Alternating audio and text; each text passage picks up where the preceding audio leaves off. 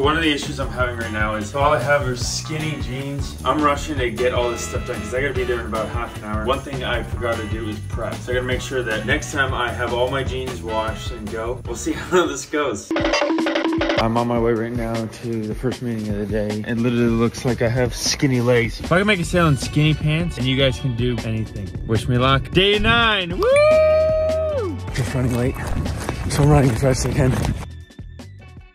Just got out of my first meeting today. Two bins filled with bike parts, chains, anything that you can imagine. So I'm definitely going to take a look at it. We'll go from there.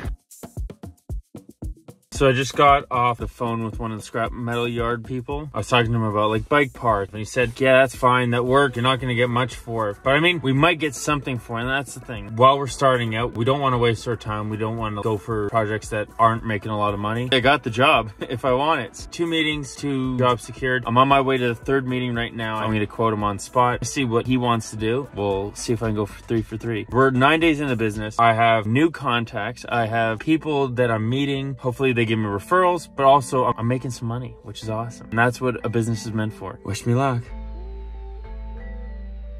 Day 10, let's go! Today we're gonna focus on building out as many call lists as possible. One of the biggest things for a new business is trying to get your name out. The best way to do that is cold call as much as possible, find new contacts, booking out meetings. Yesterday we had two successful meetings. We have one client where we're gonna go pick up a bunch of scrap metal, drive that all the way over to the scrap metal yard. We'll get some money for it. And then another, he is going away for the next two to three weeks. So we're gonna follow up with him in March. So we have essentially three contacts contacts. I'm gonna film when I go to pick up all that stuff when we go to the dump. The next thing is just trying to get out to as many people as possible. So I'm gonna put out an ad today on Facebook Market. I'm also gonna do some Kijiji ads. I spoke with a guy yesterday about Google search, like SEO. Right now it's way out of our budget, so we're gonna push that for maybe a couple months to kind of see how business goes.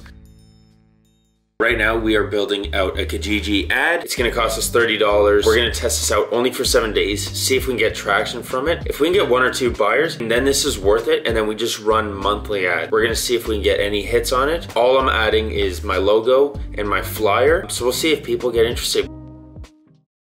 I have a folder on my computer that's the Clear Out Co folder. In that folder it has all my marketing materials, email templates, my expenses. So every time I spend any money for the business, I print out the receipts, put them into a folder, and in that folder it has all of the money that I've spent. So I know how much money I put in the business. So that's everything from hats, my driving, my meetings, pretty much everything you can expense. And then when it comes time for tax day, then you can expense those things. It just sets you up for success. You do the little stuff right now so that when you're getting getting really, really busy, you have a system that works. We're gonna make some money so that we can pay off all the expenses and then eventually you'll see us from one employee to a couple employees.